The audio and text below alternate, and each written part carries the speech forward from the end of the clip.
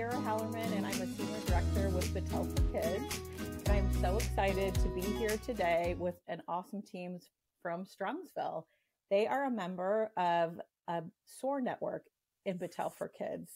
And we're here to learn about their portrait to practice journey, to learn more about how they brought their portrait to practice in their system.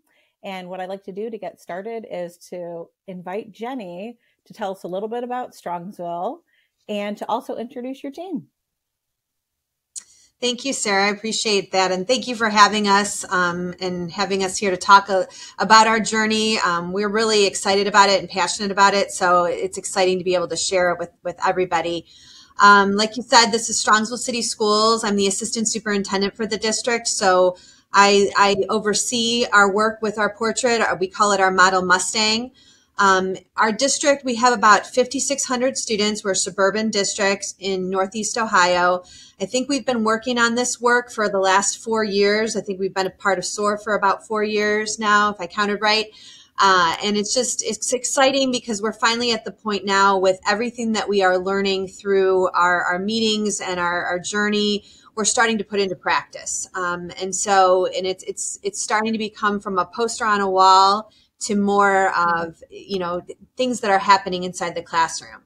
Um, i think you know where we are now is that i'll start with the positive right now. Where we are now is that we have a group of strong teacher leaders that have been through a year of really um, targeted learning in terms of what what our competencies really truly mean and how they can be implemented and integrated into the classroom with uh, their content. So I think they've done it, they've practiced it, they've given us feedback as to what works and what doesn't work, and even to the point of how to scale this, you know, in a bigger way with our entire district. Uh, so right now, where we are is we have great pockets of people that are doing wonderful things, and even beyond you know what we even did in the district learning team. And, and what i mean by that is we have project-based learning groups. We have teachers that are trying bigger projects and really trying to bring that authentic learning piece and that deeper learning piece into their classrooms. Um, but when we look at trying to scale it with everybody and, and ensuring that we have that equitable experience for all kids, no matter what building they're in, what teacher they have, that's where we're trying to go. Uh, so in terms of where we were, we, we had our competencies established. We had some graphics. We had, you know, some ideas. And like I said, some teachers trying some different things. Um, and, and so this year really we've, we've, we've moved light years ahead. We've gotten, we've revisited our competencies. We've revisited even the, the small statements underneath them. Uh, and, and made sure they really made sense. We reordered it. So our portrait of the graduate, we really kind of have version two now uh, which I think is in a much better spot to make more sense. We have different resources that we've used through what we've learned through SOAR, like Chalk Talk and Praise Question Suggest is more familiar now with, with the, this group. Uh, and using that in, in conjunction with already the strategies that our teachers are using in the room is encouraging that collaboration and that communication and that deeper thinking of our students. Um, and so, you know, I think now we actually kind of can see the pathway in. You know, some of these skills may be taught daily, some of them may be in a unit, some of them may be all the way into a, a PBL. Um, you know project or whatever so it's it's really exciting to see how it's taken it's moving from that poster it's moving from ideas and thoughts into really classroom integration and so, you know, I think where we are now is we are really in a good spot to then carry this work long term and, and, and to a bigger scale um, into our professional development learning for this upcoming year. So I, I'm really excited about it. I think it's it's you know had had such a great impact and and Sarah, I'll just say one more thing. This idea came from a book that I read called The Design Thinking Entrepreneurial Visionary. I call it the devil book um, for leaders because it really, they talked about creating a pilot group that really understands and can not only try things, but give feedback to you along the way so that when you do go to scale it, you're doing the right thing. You're putting your efforts and your energy in the right spot to get that to, to get impact really to make the work that we're doing impactful and meaningful not only to our students but to the to the educators that are involved with it because i think we all know as leaders once teachers find meaning in it and once they feel that it's working and it's making a difference for their students they're going to keep going with or without me. They're going to keep going with it because it, it's what matters. And I think overall, the issue that we're having is, and I think schools are having across, you know, the nation right now from the pandemic. We can say it's from the pandemic. We can say it's from social media. We can say it's kids are different right now. But really, we're seeing that kids are lacking skills. Uh, and so, in order to kind of problem solve, we hear it all the time. The kids aren't engaged. The kids don't want to do the work I have. The kids aren't collaborating. They don't know how. And so, when we when we looked at it from that angle to say, what problem do I want to solve in my classroom? You know, my kids aren't. I give them directions and they don't follow them. Okay, great. That's a great problem. Let's try to not only teach them the content, but how do we kind of integrate that teaching of a skill that's very important uh, with what I'm doing. And so to provide those opportunities, um, I think has been very successful for the teachers that are going to talk soon and and share their stories with you. But um, you know that's kind of where we were and and what we're trying to get to. Thank you so much, Jenny. What additional steps have you taken to align your system to your portrait?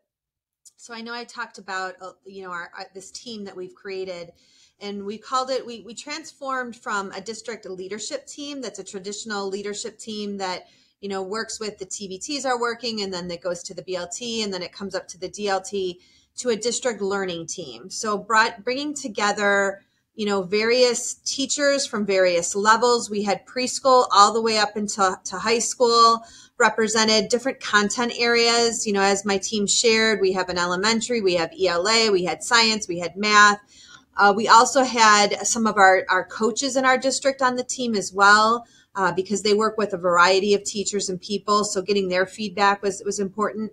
And so through this district learning team, we spent the entire year looking at all our competencies, understanding what, what we've developed I can statements um, for each one. Uh, each competency, each of our, our clarifiers. And so we have, you know, very specific. So they studied those. Um, we also brought in some guest speakers, so former students that came and talked to them about here's what we need from our teachers. Here's what we need and what we're experiencing in the real world. And here are some things that it would have been better if our teachers had done these things for us. Um, and, and I think that was a very powerful experience for our team. And just them being together. So we spent probably, I think, maybe four days, maybe three and a half days together um, and just collaborating, listening, and a lot of work time. So, a lot of vi- revisions of planning and helping them kind of really go through what SOAR has shared through the design process. You know, I'm going to design something, I'm going to try it, I'm going to reflect back on it, and I'm going to try it again and see what worked. And so, you know, spending a ton of time on that and allowing them to work together, and, I, and they'll talk about it here, but what I thought was powerful, an unintended outcome that I didn't foresee is that they said, gosh, I love as a preschool teacher, I love talking to the high school science teacher about what she's doing because I can use some of the things she's doing um, in my classroom. So it just goes to show that these competencies and these skills that we want to build in our students um, to take with them in, in whatever they do are universal. You know, whether you're a preschooler or you're a 12th grader, these are still things that just never end you know, how I communicate can be different when I'm preparing to talk to maybe a group of teachers versus maybe how I communicate, you know, with a couple administrators on the side. And so when I have to build that skill, sometimes it takes different things that I need. And, and what we've thought about is that these skill, the skill learning never ends. It's just, you know, different situations, different people, you know, and we can continue to build and, and, and go back to the drawing board and build those skills. So, you know, I think overall it's been a great process, and I, you know, I just want you to hear what they have to say, and um, because I think you know, hearing it from them and, and what they experienced is was it it it brought me so much joy to hear what they learned from the process. Awesome, thank you. So it sounds like it's been an absolutely amazing year and a big year of learning for your district. What um, Mm-hmm. solutions mm-hmm. or strategies are you considering now as you wrap up the year? What what is on your mind? Yeah. Yeah, so you know the educators out there will, especially the administrators, will appreciate this. As as you end one year, you're are, you're simultaneously planning already for the next year. So it's like double duty at the end of the year. Um, and and so what we've already thought about, we've done a ton of work. Our curriculum department has done a ton of work leading um, how to understand content standards, developing assessments, you know, from formatives to summatives, you know, new programs of math. How are we going to teach writing and, you know, just a ton of work there. So we feel we're in a really good spot, really strong in that area. And so now it is time to kind of say, how do we tie these skills in at the same time with the work we're already currently doing? So it doesn't feel, you know, like another thing or something else. And so these teachers that you're going to hear from here have done that and they've done it, you know, I'll say it was easy. They make it sound easy. Let's say that. I know it's it's challenging. But you know, so looking forward into next year and how we can design professional development for our teachers and everybody else like I spoke earlier about making this more systematic. How can we bring what the district learning team learned this year and gosh, if I could get our entire district to the point they are now, we would be light years ahead of where we ever thought we could be. So, trying to design that professional learning um, for everybody, and they're going to be a huge part of that process. Um, and just to make sure that the experiences for our students are equitable are, are kind of our next steps. Thank you so much. I feel like every time I talk to your team, I get a sense of coherence I know that you think so critically and so deeply about every move that you make, uh, and it just really comes through. I also feel like you've been really patient in this process. I mean, you said you did a lot this year, but you also have been very strategic. So, well, I look forward to hearing mm-hmm. from um, the team on the call. And so, basically, our question is what happened, you know, from your perspective? Mm-hmm. Um, what aha moments did you have? Um, if there are any lesson, lessons learned that you would want to share, we're certainly open open to that. But really, we would love to hear your story. Jenny, I didn't know if you wanted to invite anyone in particular to to start. Yeah, I mean, we'll maybe we'll start with our, our young learners. We'll start with Emily and have her share her process and, and her experience. Sure. So at the elementary level, when I think about my second graders that are seven and eight years old, and 10 years from now when they graduate, the jobs that they're going to go into might not have even been created yet. So to think about giving them skills that will transcend like any content that they might know or that they can go fetch on the internet, um, but really like the skills that they're going to need to be successful in these jobs that we don't even know, quite honestly, what they might be. Um, so that really kind of struck me when we had our first meeting and thinking about, you know, how can we build them to be collaborative and resilient, empowered, innovative, like those are the important skills that they need to leave if at the second grade level, then high school, you know, they'll be they'll be okay when they get to college or, you know, the workforce. Um, so I thought it was really important to like purposefully integrate those skills into any lessons that I was creating. Um, I also was doing a book study with um, our gifted coordinator on PBLs and just seeing how that work ties in different content areas and how powerful they can be when you tie social studies and math and ELA. Um, and they're simultaneously, you know, building skills in all of those areas. Um, and then one of the students, after we had done one of the lessons, came up to me and she's like, "Thank you so much for letting us do that." And I thought, well, no problem, right? Like, no, I I love that you're saying thank you, but also that you think that that was something that was, you know, extra or something that maybe they didn't have to do. Um, so that was really neat, and it made me think like I really need to be more diligent about creating these lessons more frequently, and you know, tying in different content areas to get, you know, that deeper learning. Um, and then just also like our makerspace and all the materials that we have in makerspace how awesome they are to lend themselves to you know collaborative work and being innovative um, and empowered. And you know i feel like jenny always says voice and choice and giving them that opportunity to really express themselves and show what they know for that standard um, but in a different way. Maybe they're not all doing the same presentation. They're not all writing the same project, um, the makerspace has been huge to kind of give them that, you know, extra piece um, that they don't always get to use. Um, so that at the elementary level, I thought was so valuable. Thank you so much. Holly, you want to you want to go to Holly now? She's middle schools.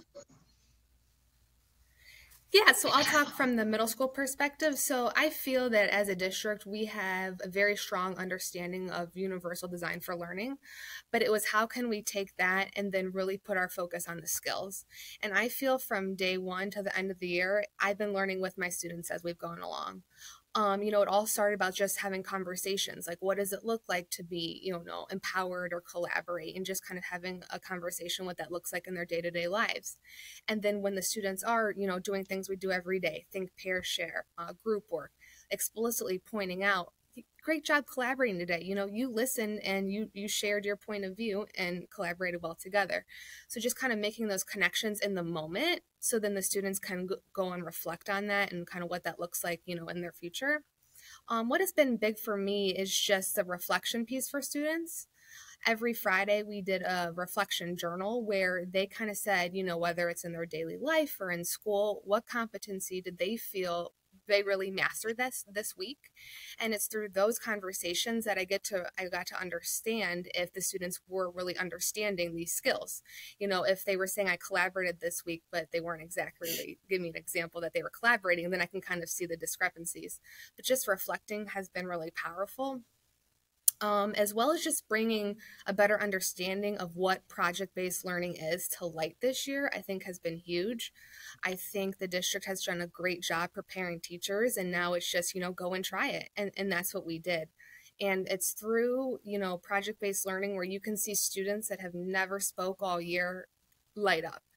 Um, you know they're they're using the skills you know maybe they're editing videos or 3d printing something you know learning what is a business card all these different um, elements that came to light this year through putting an emphasis on the skills with the content, I felt was really what the big game changer was for this year. Thank you. And Heather, our science teacher at the high school.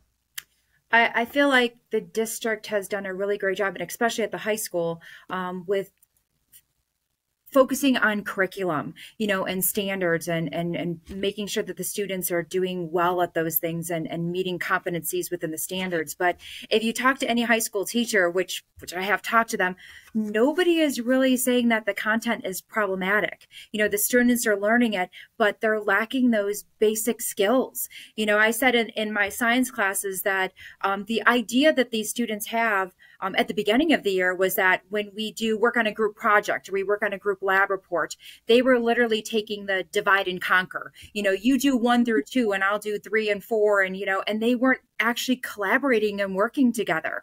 So um, I think these model Mustang competencies are really important because that's that's where the students are struggling with. They're struggling with these life skills. And at the end of the day, you know, when they graduate, you know, nobody's going to ask them, tell me about Newton's three laws and how they're applicable in your life, but they're going to need to know how to collaborate with one another and really collaborate, not just, you know, break it apart into a puzzle piece. And so that was one of like the competencies that I worked on was collaboration. Um, and then I also worked on um, empowerment with the students and having more voice and choice through that UDL kind of process. Um, and it was, it was, I'm going to be honest, it was, it was a struggle at the beginning of the year, you know, introducing these things and having the students kind of get on board with the ideas. And they, they wanted to revert back, you know, to doing the things that they initially were doing. You know, I, I introduced the idea of collaborating and, and how to do it. And the first time I did it, it was it was disastrous. It, it didn't go well. You know, they were trying to still piecemeal together things. And so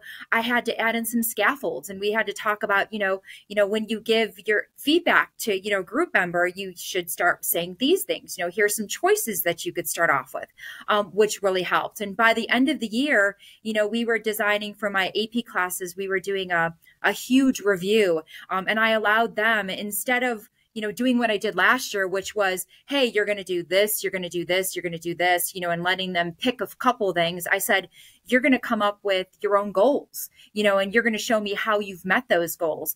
Um, and it was great because they got to pick, you know, an academic goal. They got to pick a behavioral goal. So I had students literally listing goals, you know, to, to help them prepare themselves for the AP exam. You know, they would do stuff like, I'm going to promise to put my, I'm going to commit to putting my phone in the caddy so I'm not distracted by it.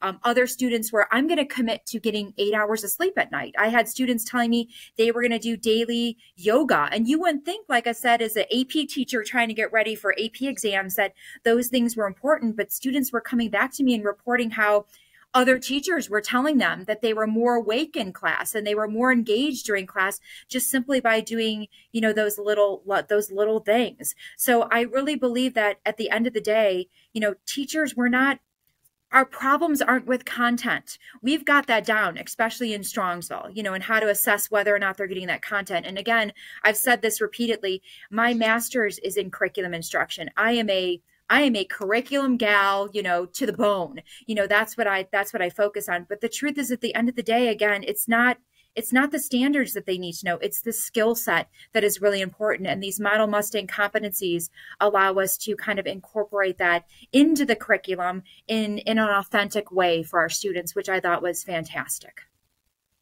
thank you so much for sharing Heather, and I, I just have to interject for one second, Sarah, that, you know, I want to be clear through this district learning team, I never said, don't forget to include scaffolding. Don't forget to have your kids set goals. Don't forget, I didn't give, you know, a lot of direction. We gave a, a, little guidance and questions really for teachers to reflect on and think, have you thought about this for your lesson? Have you thought about that? We reviewed, as Holly talked about our UDL framework, our learning framework that we follow. We reviewed that with this group and said, don't forget about this. Voice and choice are a huge component of empowering students, you know, to, to kind of create their own pathway to learn something. And so what they're, and Emily with the makerspace and what she shared, you know, I didn't say don't forget to use makerspace, but, you know, I think sometimes we underestimate as leaders, we underestimate the power that our teachers have to connect these things and to be able to kind of say, okay, you want us to embed competencies. We still have to teach content, you know, letting them go. And, and these, you know, these are phenomenal examples that they're sharing of them working not only with themselves, but taking things back to their TBTs, their teacher based teams and kind of problem solving together and saying, what do our students need? And where, what do we know already? And how can we build on that to really integrate skills? So, you know, I, I couldn't be more proud of the work that they've done and the risks that they, like Heather shared. Sometimes it doesn't go well the first time, but it's key to be resilient ourselves as adults and, and try again, um, and, and ask those questions and get more, more coaching and feedback ourselves as adults with each other. Um, and that was the power of this team. So I also want to share, turn it over to Bill because he has a little different perspective. That He's a leader within the building, mm-hmm. you know, seeing firsthand what teachers are doing day to day and thinking about as Bill leads his building leadership team, how can I start to take what I'm learning through this group and slowly integrate it into a high school setting, which is always a challenge because you have, you know, a lot more disciplines, a lot more people and to try to create something more systematic within within the, our high school. So, Bill, I'll let you kind of share your perspective. Yeah, it's it's you know it's I, when we first start. I'm listening to the teachers, and it's uh it's so interesting to hear the different perspectives of the different grade levels. But one of the things that this year has taught really taught me, and one of the things I think I'm the most proud of, is at the start of the year. We always talk about learning being student centered. We talk about students guiding the learning. And a lot of teachers want to be engaging, but engaging doesn't always mean learning and rigorous. So like when we do projects where we're building cars that roll down this, the hallway and those are really cool things, but they're not always meeting the needs of the student in terms of the student having the skills. So one of the, one of the really cool things I, I've talked to Jenny about this. I use the word pockets of innovation. Um, we have several pockets, what I call pockets of innovation at the high school. And what's really, really cool is that at the same time that we're encouraging teachers to, to do something that empowers students, they're also, because of the district movement, they're also incorporating ways that students are still using standard based learning and they're still covering content. And I think about like, I think about math, for example. Math is a very challenging area to be engaging. Um, I joke that if you walk through most high schools, math instruction has not changed since 1950. they write, they watch, rinse and repeat. And one of the things I'm super proud of at the high school is a bunch of teachers came to me last summer and said, we want to do this new math. It's called Math Medic. We want it to be student centered, but it's super rigorous. And I said, okay, I went down to this training. Let's do it. And I want to echo what Heather said. In August, when we went into the classrooms, I literally heard students. So students start in these groups and they get assignments to go out and they have to work on math problems that they have not been taught the content yet. So they're using pre-existing math skills to try to deduce something that's foreign to them. And I remember in the beginning, Alyssa Hostler's class and Michelle Kubatis' class, kids would go, could you please just tell me the answer? I don't want to deduce this. And as the year went on, what happened was, and, and Heather in science is a good example, these pockets of innovation have kind of spread. Um, they've spread throughout the building and group work is an example where teachers love group work, but if but if you look at a lot of group work, one kid, the really, really, really smartest kid in the group does all the work. Well, the way we're doing group work at Strongsville, when you look at these model Mustang principles, the kids can't do that. Um, they're working in these groups and I'm watching teachers that don't sit down for 48 minutes. Um, and these pockets of innovation and, and, and I, I hate to be the nerd data guy in the room, but I, as a principal, I can't help it. And when you look at like our math test scores, the teachers that did this method were 94% proficient. 67% of kids were accelerated or advanced. So for years you've heard, we can't do this work. We got to get through all this content or we're not going to make it. And the reality is when the kids are the drivers of the learning and they're figuring out their own misconceptions. And as a principal, I, am going to echo what Jenny said earlier. Like, I love seeing this, but then I want to like, how do I stretch this to everyone else and have everyone else do it? Um, so for me, the movement that Jenny's had with this DLT, along with what we're doing at the high school, they are parallel movements that are that are now at the end of the year. I think Jenny and I kind of get excited. They're starting to blend together, um, and this movement's starting to spread across. We're a large high school. We have 140 teachers, so change takes time. But we're seeing that this is starting to bleed into the other departments, and it's starting to make palpable change in the building. Wow, this is awesome. It's Thanks, just fantastic fantastic to listen to, um, just on all levels. I love hearing from educators at different uh, tiers within your system, hearing the leader's perspective. Um, it's it's just fantastic. Um, so, Bill, you mentioned 140 teachers, and you know this idea of scaling. Um, it's I just want to recognize that it's really challenging, and I want to segue into a question that kind of hits on that because it's about capacity. And Jenny, I know you've already talked a bit about, I mean, it's so clear that you're empowering people in your system to think and to make decisions and to identify their own problems that need to be solved. But how have you deepened your system's capacity to support educators in developing these practices? Um, in in terms of you know deepening deepening the system itself, I think it does take a lot of that foundational work. You know, I think the teachers all talked about standards work they've done. That took a few years, you know, to kind of really understand our standards. You know, then we get into our assessments. Our assessments making a difference, you know, and and what are we assessing and what do these assessments even mean? And and then what do we do with the information we get from the assessments? Because that's key, you know, if we're if we're giving formative assessments and and we're seeing that some some kids get it some kids don't some kids are kind of in the middle you know i i hear sometimes still and this is where we need to continue to build that oh i guess i'll have to review tomorrow all my kids didn't get it and i my question back is all kids need to review tomorrow and so you know i think when we look at combining skills with content we really have to think about what are we doing on a daily basis that i can kind of start to build you know, build the skills that my students need to be able to com- complete a PBL. You know, I mean, if you just give them, okay, we're going to do this PBL like you heard from them, there are students still that are saying, wait, I don't want to do it this way. I just want the worksheet. I just want what I'm used to. And that's the system we've created, right? You know, there are some students that can just come to school and kind of skate through. And I always question, what are they really taking away and what are they remembering after the test? Because if we really talk about deeper learning, it's remembering not only the content, but the skills and the experience that I had that I can be able to, to trans, you know, transfer those skills and that content to anything that I want to do in the future. So in terms of continuing that deeper, that deeper learning, I'll turn it over to, to some of my teachers if they want to kind of speak to this. Because as, and as bill said it's about building the capacity of everybody and continuing this momentum. And i think when teachers see that something's working then they'll say oh yeah let's do that. So you know i'll just turn it over if anybody wants to kind of add a little bit more to what you tried or what you did to continue to to deepen this this learning. I'd be excited to hear from you.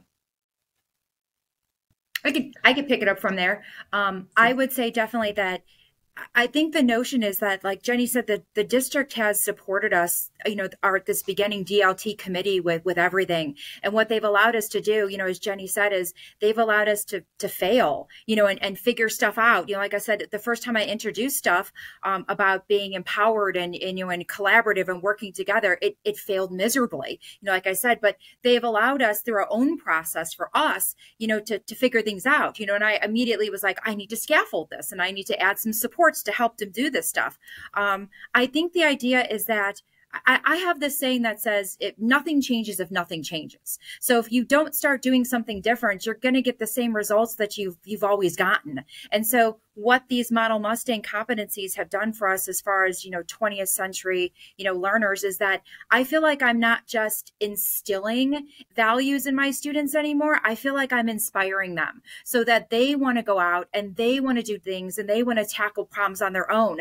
You know, I definitely feel more like that. You know, there's a, an expression in, in education about that, um, the sage on the stage versus the guide on the side. You know, I feel like more that I'm the guide now, you know, and that's what they need because, know, when I'm not there, you know, and they graduate, I can't hold their hand and help them with anything. And what we're doing in this district is we're allowing students to find their own path and we're helping them along that pathway. And, and the model Mustang competencies embedded with that content is is definitely the, the pathway to follow.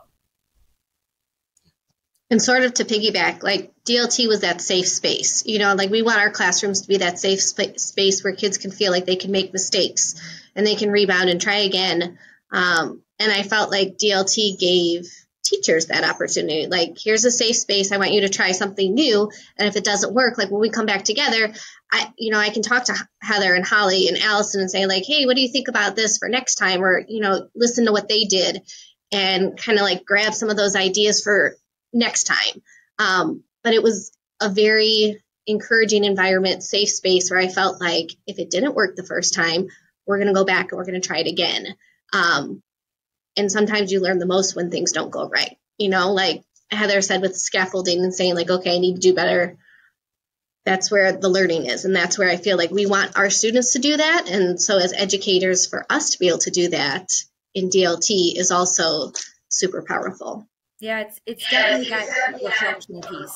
You know, we were reflecting, you know, and the students see us reflecting, you know, and they learn too that again, you learn more from your mistakes than you do from the things that you get correct. You know, so they just like like Bill was talking about, they, you know, at the beginning of the year, my students just want the answer. What's the, give me the answer. Did I do this correct? You know, and instead now they're inspired to kind of find their own pathway, you know, and, and, and come up with their own goals. And again, it's still, it's still content driven. You know, there's still things that they need to learn and, and we're driving that as teachers. But as far as how they're going about doing it, you know, it's a, it's a completely different atmosphere you know, in our classrooms and being able to collaborate with the other teachers and come up with ideas. I know I talked to a couple teachers at the high school and, you know, we came up with this project kind of for the end of the year. And, and once we were done, she really inspired me to change how I was doing stuff. So it's definitely a, a collaborative process and a kind of a learn and grow for us, you know, as, as well as the students.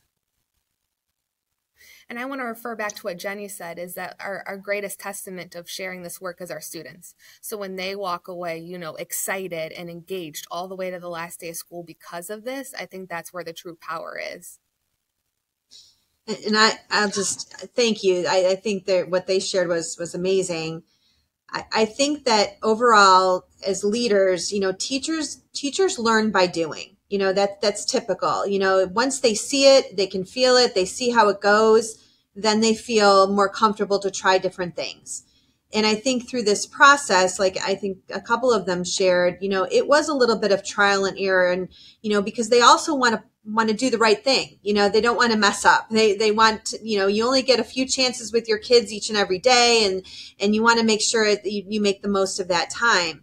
But, you know, what we're trying to do is take traditional teaching practices that typically worked for students, you know, and, and have worked. And we have great kids in Strongsville. Don't get me, we have great kids. They come to us, supportive families overall. But what we're seeing, and I think, you know, leaders are seeing this across the nation is that kids are not coming with the same skills that maybe we've seen in years past, you know, and, and the world is changing and evolving and we need to change. You know, we only have control over what we do as leaders, as educators, and we need to evolve. We can't say, sit here and say, well, wow, I, you know, I used to do this and it worked all the time. It's these kids. It's not the kids. It's, it's the environment. And like I think somebody shared, we're preparing them for jobs that, you know, we don't even know that exist. And so instead of preparing them for a specific trade or, or, or job, we need to prepare them with the skills that they need to do anything. And part of that is being passionate, being motivated, being intrinsically motivated and excited about what they're doing. And if they can leave our walls each day feeling, wow, I had a good day. It was interesting. It was fun. I learned some things along the way and I can't wait to come back and try some more. And, you know, I know this is, is a podcast and we have at the high school, um, Bill didn't mention this is another bright spot at our high school and one of our members of our district learning team um, had her students do podcasting and they had to do all the work. They had to research. They had, and I went and visited them and they were so nervous to talk. You know, I, oh my gosh, what am I going to say? What if this doesn't go well? And as they got going, did they make mistakes? Yes. But they couldn't wait to go back again and share their knowledge and share what they had to do. And, and it's just, it's so exciting to see this evolving and, and education evolving. Um, I know it's a big task, but think the typical thing is we're worried about test scores. We're worried about what's that going to look like on paper. And so, you know, in the book that I read, this resonated with me so much. You know, we can measure test scores. We can measure that. It's easy to do. So we stick to that as educators. It's much harder to measure the impact of these building skills. And so that's why it's taken district so long to really take hold of this and try to implement it because it's not always visible what you see. But hopefully from the stories that they're sharing you can see that anecdotally it is visible and it is working. Absolutely. And bill shared an example of some data you know that he collected in his system in the math class. So i know you i, I know you have some of that absolutely. Um, your story is fantastic and I, I commend you all. What I'd like to do to wrap up, we've we've talked a lot about this amazing year. And I know that there are many, many, many steps that led up to the amazing things that happened this year. I feel like it was a year to create even greater coherence. It's fascinating for me to hear, and I know this about you, that you're this far into the journey and you were still working on really getting even more precise and better shared understanding about those competencies and what they really mean, you know, by developing those I, I can statements. All that mm-hmm. careful work is going to help you so much. Um, so let's think about the future for a moment. What high priority action steps are you thinking about right now? I know Heather talked about paths. So let's think about the path you are setting up to set your district, um, you know, on a path for 21st century transformation moving forward? What are you thinking about? Well, I think, like I mentioned earlier, the thing on my mind is how do you scale this? You know, I, you know, I, we have this great group of teachers and and some administrators that were on the district learning team, and they were chosen specifically you know they were chosen because they already are trying to to to venture out of traditional practice and trying new things. And so i mentioned the podcast. You heard emily with makerspace. Holly's always been a leader with udl and heather was on my grading team years ago we were trying to break down this whole philosophy of grading practices and how antiquated they are and so, you know, selecting educators that already are of the mindset that I want to do better, I want to try new things was key. I think moving forward, we know that there are educators, like I just mentioned, that are like, well, what about my test scores? What if I don't get through all my pacing, you know, my pacing guide and I'm off track and I don't have time to let students do this thinking because we got to get through the book or whatever it might be. I think that's the key, right? Is to say that, like they all mentioned it, the time that it takes to, you know, we're, we're going to setting goals of yoga. You know, I think as an AP teacher, there may be some out there that say, I don't have time for that. I, they've got to do well on the AP test. So, you know, I think that's kind of what we're, we're trying to think about. That's an action step to build that same excitement, that same, um, you know, feeling of need that we need to change. We need to evolve. And this is why it's important. Um, so that's a high priority for me and, and, a way to start with, you know, whether you go back to the Simon Sinek why, why we need to do this. I think we need to think about how we're going to build that why in all of our educators and not just our teachers, but our staff you know as well from from our bus drivers to our cafeteria to it's it's not just a teaching thing we see students in all different situations and you know whether it's a student in the cafeteria that's not following a direction you know how can we approach them to have them build that skill of you need to clean up you need to you know behave in such a way this is you know how we act here in strongsville. And so it's not just about building that why for our, our, educators but also everybody that works here so that we can be speaking that same language you know with with our students and that they're not confused you know that they actually know what it means to be collaborative what it means to be resilient um, i think in one of our experiences through soar that was key you know kids go on job interviews and are asked a question of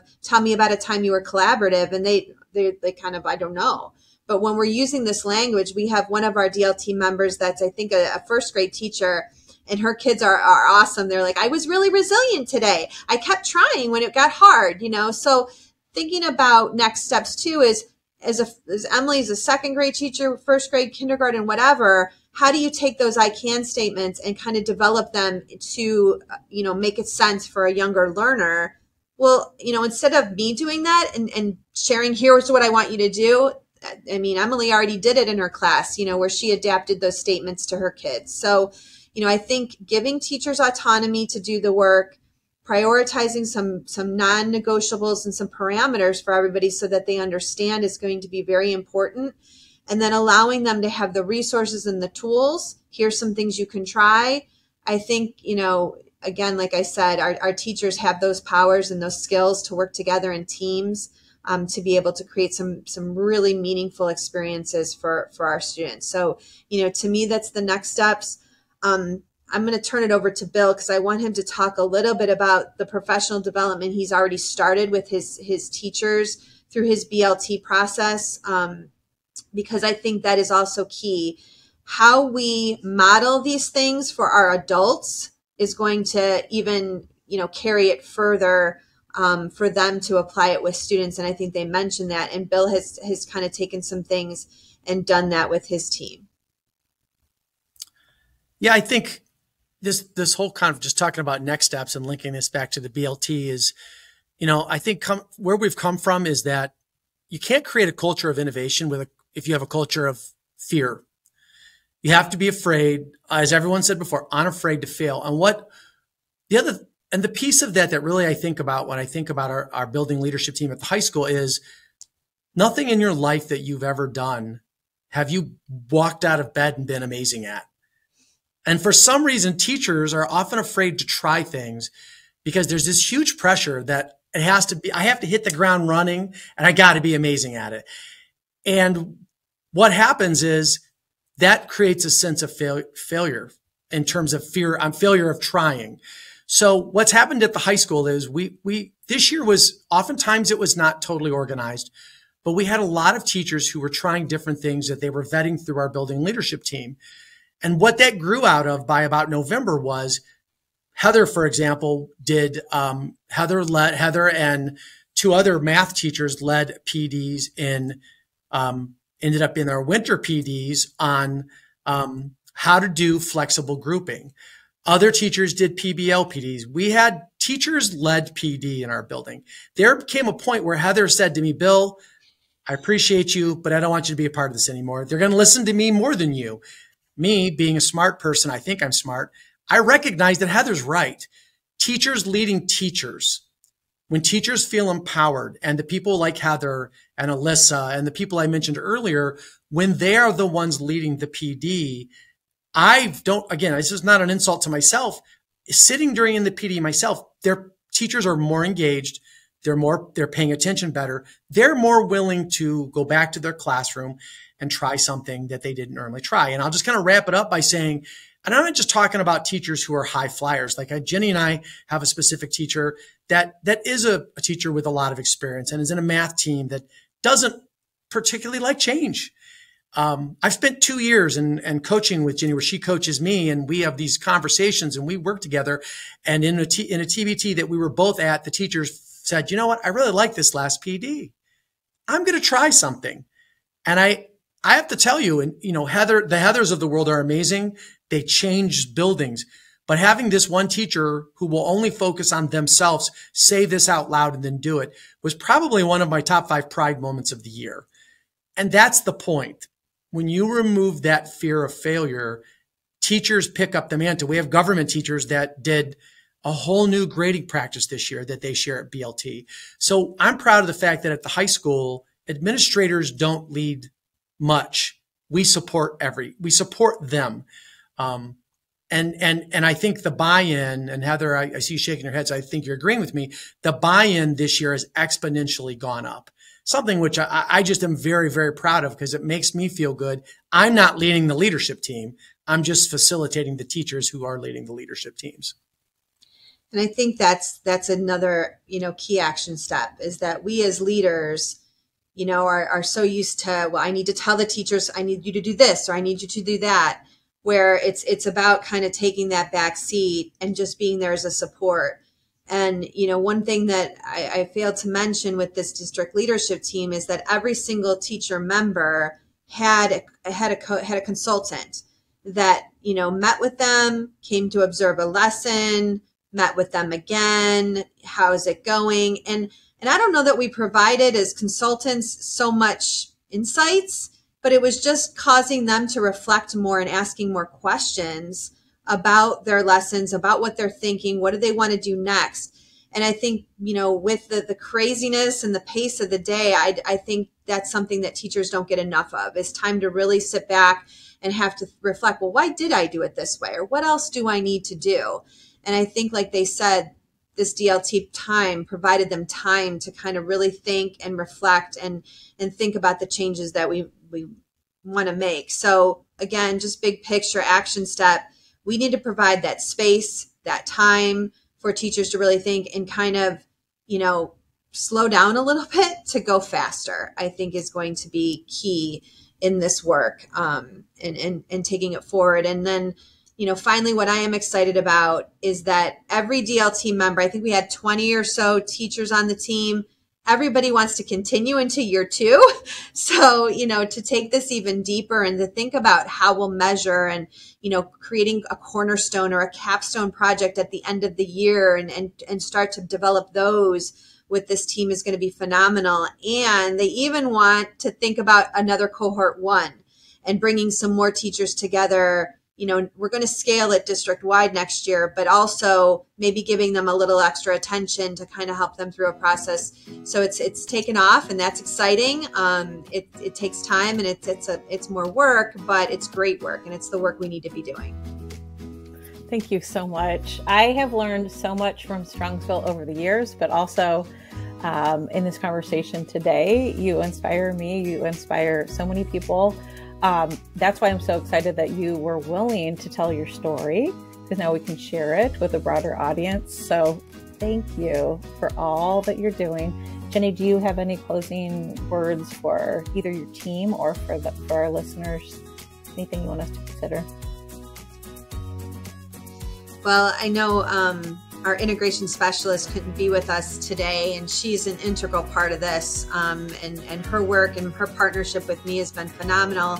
But I'll, I'll share a story. So, you know, we were trying to, at the start of the year, we're trying to think about how to do this and how to invite people to do extra work that when they're already bogged down with everything else that we had on the plate for this, the start of this year.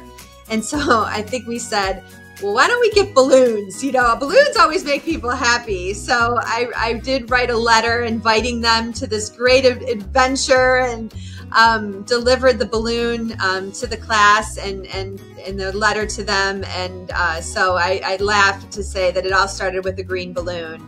Um, but I just can't thank all of our DLT members, our, our team, our SOAR team for, for taking a chance on this and having everybody be a part of it and the efforts that they put forth on top of everything else to not only do this in their classroom, but provide the feedback necessary so that we can be successful scaling this long term. Awesome. So thank you, everyone. Thank you, Jenny. Thank you, team. You are amazing, and we appreciate that you told your story. Thanks so much. Thanks, Sarah.